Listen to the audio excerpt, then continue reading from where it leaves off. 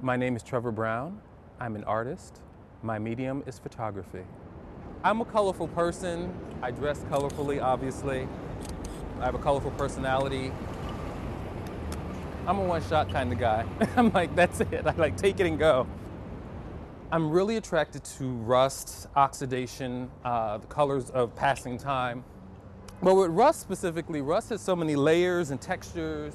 And some people have said that some of my photos have a tactile feel, which I actually like because um, it makes it seem like, you know, you can feel it and you can touch it. So that really pleases me.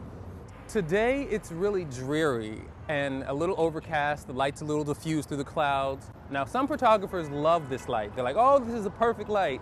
For me, it's not. I really prefer stronger contrast, and it just really creates a great atmosphere when you have a little bit more sunlight. I did a whole series of um, Brooklyn sunsets and sunrises in my book, Brooklyn Rises, and I really tried to capture that essence of the Brooklyn sky as you as the sun sets and as the sun rises. Some people saw some of my shots from Crown Heights and Bed-Stuy and were wondering like, well, where is that? Is that Italy? I'm like, oh no, that's Brooklyn. My photography strongly reps Brooklyn because I think Brooklyn is where it's at.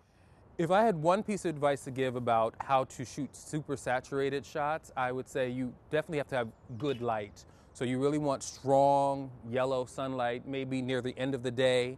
Um, and a good, good subject material. If it's something that's bright, colorful, you know, you can go into your photo manipulation program and just pull that color up just a little bit more to saturate it. Not to make it too surreal, but just to give it a little bit more richness. That's what I like to do to make my colors a little more saturated.